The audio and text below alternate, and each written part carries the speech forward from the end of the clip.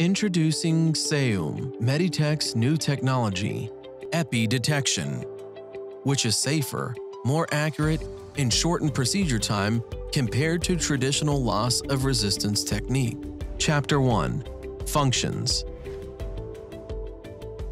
Epi detection is a medical device that detects negative pressure in epidural space.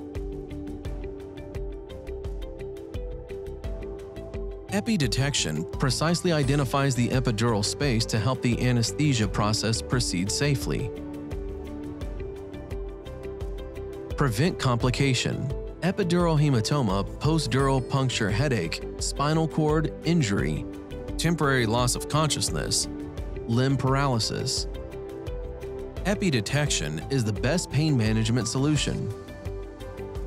Chapter 2 Correct Usage Identify the area for the procedure.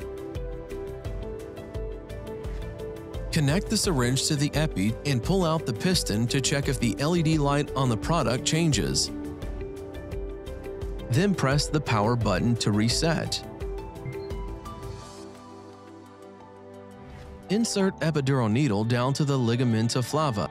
Remove the inner stylet from the epidural needle.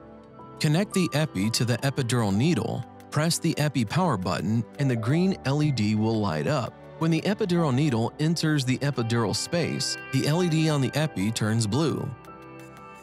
Open the Luer lock and insert medicine or catheter.